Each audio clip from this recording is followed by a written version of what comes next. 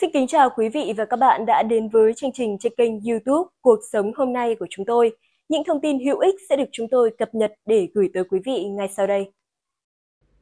Ukraine muốn thỏa thuận an ninh mạnh nhất với Mỹ. Ukraine đang chờ gói viện trợ quân sự mới từ Mỹ và mong muốn đạt được một thỏa thuận an ninh mạnh mẽ với Washington. Trong bài phát biểu trực tuyến ngày 28 tháng 4, Tổng thống Ukraine Volodymyr Zelensky cho biết, Chúng tôi vẫn đang chờ đợi nguồn cung các bên đã cam kết chuyển cho Ukraine. Chúng tôi kỳ vọng chủng loại và số lượng nguồn cung có thể thay đổi tình hình trên chiến trường theo hướng có lợi cho Ukraine. Nhà lãnh đạo Ukraine nói thêm, điều quan trọng là mọi thỏa thuận chúng ta đạt được đều phải được thực hiện. Mọi thứ sẽ mang lại kết quả thiết thực trên chiến trường và nâng cao tinh thần của mọi người ở tiền tuyến. Ông Zelensky cho biết, ông đã nói chuyện với Hakeem Jeffries, lãnh đạo Đảng Dân Chủ tại Hạ viện Mỹ hôm 28 tháng 4. Trong cuộc trò chuyện, Ông Zelensky nhấn mạnh rằng Ukraine rất cần có hệ thống phòng không Patriot. Chúng tôi đang làm việc với các đối tác của mình ở mọi cấp độ để đạt được mức độ hiệu quả trong hoạt động hỗ trợ cần thiết, không chỉ để giữ vững lập trường của chúng tôi, mà còn để phá vỡ các kế hoạch của Nga, ông nói. Ngoài ra, ông cho hay Kiev đang đàm phán với chính quyền Tổng thống Mỹ Joe Biden về một thỏa thuận hợp tác lâu dài cả về quân sự, kinh tế và chính trị. Ông nhấn mạnh những cam kết như vậy là cần thiết để bảo đảm cho Ukraine có được hiệu quả hỗ trợ để ngăn chặn các bước tiến gần đây trên chiến trường của lực lượng Nga và giành ưu thế. Hồi đầu tuần trước, ông Zelensky xác nhận Ukraine và Mỹ đã bắt đầu đàm phán về thỏa thuận hợp tác an ninh song phương. Chúng tôi đang nỗ lực để có được cam kết hỗ trợ cụ thể của Mỹ trong năm nay và trong 10 năm tới. Nó sẽ bao gồm hỗ trợ về quân sự, tài chính và chính trị, cũng như những gì liên quan đến việc sản xuất vũ khí chung, Tổng thống Zelensky nói. Ông hy vọng đó sẽ là thỏa thuận an ninh mạnh nhất trong số các thỏa thuận mà Kiev đạt được với các đồng minh, đối tác. Kiev đã ký thỏa thuận an ninh song phương với một số thành viên NATO, trong đó có Anh, Đức và Pháp. Tuy nhiên, các thỏa thuận song phương của Ukraine với các nước phương Tây ủng hộ cho đến nay vẫn chưa đạt được kết quả phòng thủ chung. Các thỏa thuận chỉ đơn thuần cam kết viện trợ dài hạn, bao gồm hỗ trợ trong trường hợp xảy ra một cuộc tấn công trong tương lai và chúng không có tính ràng buộc về mặt pháp lý. Ví dụ, thỏa thuận với Berlin có thể bị chấm dứt sau 6 tháng. Ông Zelensky cho biết ông muốn hiệp ước song phương của Ukraine với Washington bao gồm các mức viện trợ cụ thể. Ông nói, thỏa thuận này phải thực sự mẫu mực và phản ánh sức mạnh lãnh đạo của Mỹ.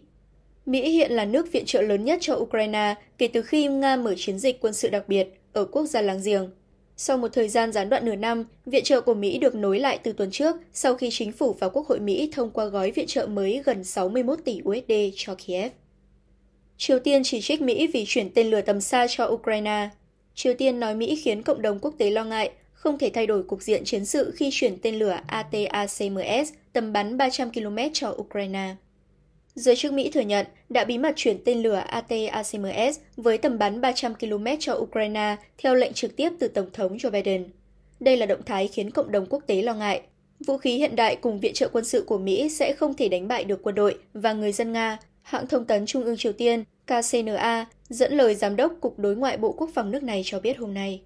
Quan chức Triều Tiên nói rằng Washington từng nhiều lần né tránh vấn đề chuyển giao tên lửa tầm xa cho Kiev bằng cách tuyên bố không khuyến khích Ukraine tấn công lãnh thổ Nga, nhưng đang ngày càng lộ rõ bản chất là kẻ phá hoại hòa bình và luôn thúc đẩy mở rộng xung đột bằng cách cung cấp thêm vũ khí.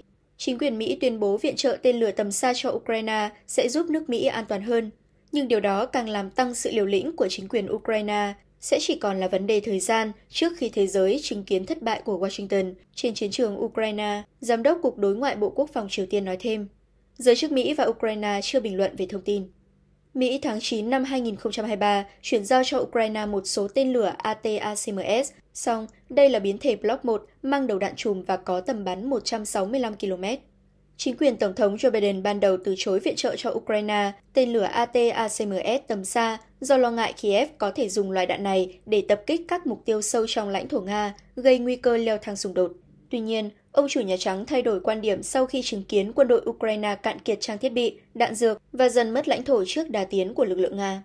Cố vấn an ninh quốc gia Mỹ Jack Sullivan hôm 24 tháng 4 xác nhận số lượng đáng kể tên lửa ATACMS được chuyển đến Ukraine trong khuôn khổ gói viện trợ khẩn cấp trị giá 300 triệu USD được Tổng thống Biden phê chuẩn giữa tháng 3.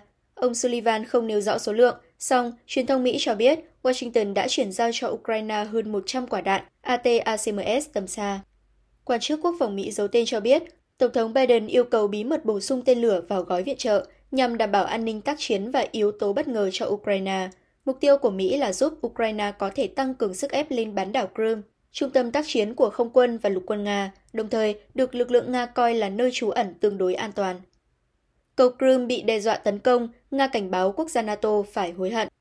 Quan chức Nga đáp trả gay gắt sau khi đại sứ Lithuania tại Thụy Điển đăng bài ám chỉ cầu Crimea sắp bị tấn công. Đại sứ Lithuania tại Thụy Điển Linas Linkevicius đã đăng tải một bài viết trên mạng xã hội X hôm 28 tháng 4. Trong đó có ba bức ảnh, một ảnh là cầu Crimea của Nga, một hình khác là cảnh vụ phóng tên lửa AT-ACMS do Mỹ sản xuất và ảnh thứ ba cho thấy Tổng thống Nga Vladimir Putin đang suy ngẫm. Chú thích bên dưới các bức ảnh có nội dung, nếu ai đó chưa có cơ hội chụp ảnh ở cầu cách thì vẫn còn thời gian. Phía Nga cho rằng bài viết trên là lời đe dọa ngầm, nhắm mục tiêu vào cầu Crimea bắc qua eo biển cách, nối bán đảo Crimea và đất liền Nga. Ông Dmitry Polyansky, phó đại diện thường trực của Nga tại Liên Hợp Quốc, cảnh báo đại sứ Linkevicius và những người khác có quan điểm tương tự ông rốt cuộc sẽ phải hối hận về tất cả những sai lầm như vậy. Thông điệp của đại sứ Lithuania, vốn là quốc gia thành viên của NATO và EU, được đưa ra chỉ sau vài ngày khi Cố vấn An ninh Quốc gia Nhà Trắng jack Sullivan xác nhận Mỹ đã bí mật chuyển giao cho Ukraine một số lượng đáng kể tên lửa AT-ACMS với tầm bắn lên tới 300 km. Với bài viết của mình, đại sứ Likevicius dường như ám chỉ rằng loại vũ khí tầm xa này có thể được sử dụng để tấn công cầu Crimea, theo RT.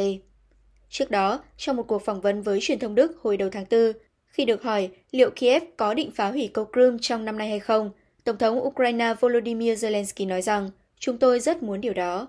Theo người phát ngôn Điện Kremlin Dmitry Peskov, việc các quan chức Ukraine công khai lên tiếng về kế hoạch tấn công cơ sở hạ tầng của Nga một lần nữa chứng minh rằng quyết định của Nga về việc tiến hành chiến dịch quân sự ở Ukraine là đúng đắn. Đại sứ Nga tại Mỹ Anatoly Antonov cho rằng việc chuyển tên lửa tầm xa cho Ukraine là hành động không thể biện minh. Ông nói thêm rằng động thái của Washington làm tăng mối đe dọa đối với an ninh của Crimea, bao gồm Sevastopol, các khu vực mới của Nga và các thành phố khác của Nga. Cầu Crimea được xây dựng từ năm 2016 đến năm 2018 và là tuyến đường bộ và đường sắt duy nhất nối bán đảo Crimea với đất liền Nga. Nga đã sáp nhập Crimea vào năm 2014 sau một cuộc trưng cầu dân Ý. Kể từ khi xung đột Ukraine bùng nổ vào năm 2022, nhiều quan chức và chỉ huy ở Ukraine đã đe dọa phá hủy cây cầu dài 19 km nối bán đảo Crimea và vùng Canada. Họ cho rằng công trình này rất quan trọng đối với quân đội Nga.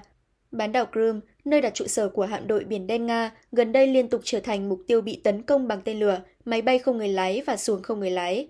Nga cáo buộc Ukraine đứng sau các vụ tấn công này. Phó Giám đốc Cơ quan Tình báo Quốc phòng Ukraine GUR Vadim Skibitsky tuyên bố Crimea là chìa khóa giúp Nga mở rộng tầm ảnh hưởng ở khu vực. Mặt khác, ông nhấn mạnh, việc Ukraine giành lại bán đảo là điều không thể thương lượng. Tuy nhiên, Phó Chủ tịch Hội đồng An ninh Nga Dmitry Medvedev tuyên bố Moscow sẽ cân nhắc sử dụng mọi biện pháp, bao gồm cả hạt nhân, trong trường hợp Crimea bị tấn công. Cảm ơn quý vị và các bạn đã theo dõi chương trình của chúng tôi. Nếu quý vị thấy thông tin bổ ích và thú vị, xin hãy đăng ký và nhấn chuông thông báo để cập nhật thông tin trong những chương trình tiếp theo.